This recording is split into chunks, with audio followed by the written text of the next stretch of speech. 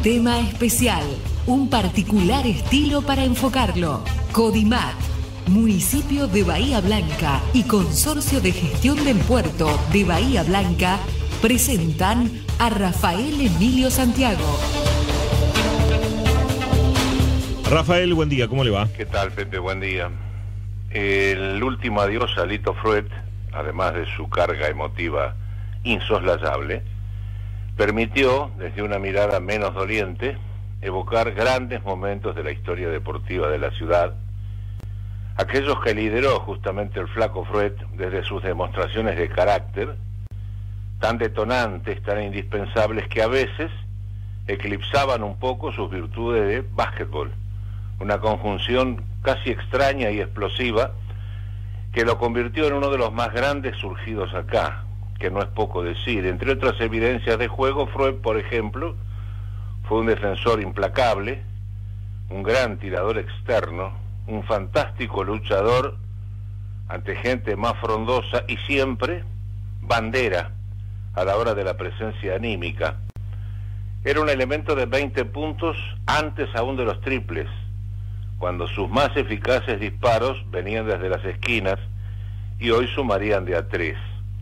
Además, Freud fue el mejor receptor de las asistencias mágicas de Cabrera, un dato interesante, ¿no? Los pases de Beto eran singulares, fuera de lo común, y el flaco como que los presentía. Con ellos dos, de Lizazo, Cortondo, y López, Ojunián y varios más, Bahía Blanca rozó la leyenda una década larga con un aditivo especial. Casi siempre esas conquistas fueron lejos de casa visitantes netos, sin los pequeños abusos de la localía. Freud fue el primero en tirar de ese carro triunfal que nos llenó de orgullo, enlazó un par de generaciones, llegó muy joven a la selección local, accedió luego a la escuadra nacional, cuando todo era más precario, menos informado y un jugador del interior estaba más lejos que ahora de esos privilegios. Acá ganó casi todo y además accedió a una condición inédita y no repetida. En tres años llegó a su club de origen, Independiente, de tercera a primera. Y en esas tres temporadas consecutivas fue campeón, campeón de tercera, campeón de segunda y campeón de primera. Yo no conozco nada parecido. No ha de ser sencillo, además, nunca lo fue. La historia lo está recordando ya como símbolo de Olimpo y Bahía, una condición regional que lo caracterizó a un retirado. Era muy bahiense, muy de acá.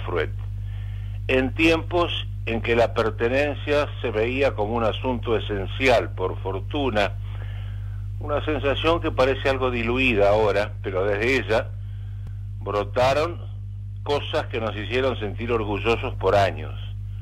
Más allá de los eslogans, uno adhería a la condición de capital que forjaron esos pioneros, Freud a la cabeza los regresos triunfales y multitudinarios de los primeros éxitos remotos son páginas probablemente ahora algo amarillentas pero singulares, pioneras y probablemente irrepetibles. De aquel trío, Freud, Cabrera de Lizazo, podemos suponer que asomó luego el otro trío, Ginóbili, Sánchez, Montequia.